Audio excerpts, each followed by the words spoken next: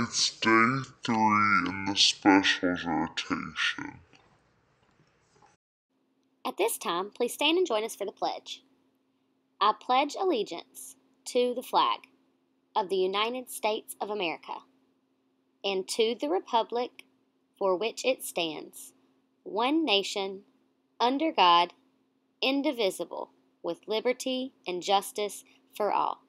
Thank you. You may be seated.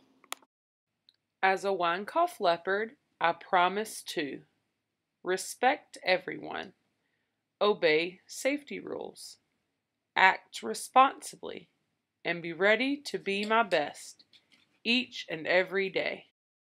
Hey, Miss Thomas! Hi! It's November 1st! It is! Uh, and guess what that means? Your character trait. What? Guess what? It's Which my one? favorite one. It's Which my one? favorite. Which one? Kindness! Kindness! Yeah, Yay! I know.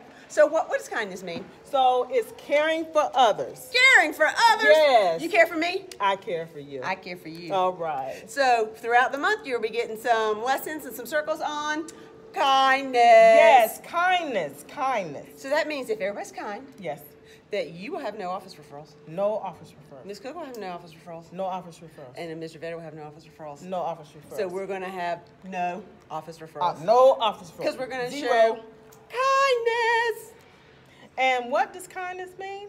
It means that I roar for putting my respect into action and helping others. Awesome. All right, let's show some kindness. Kindness.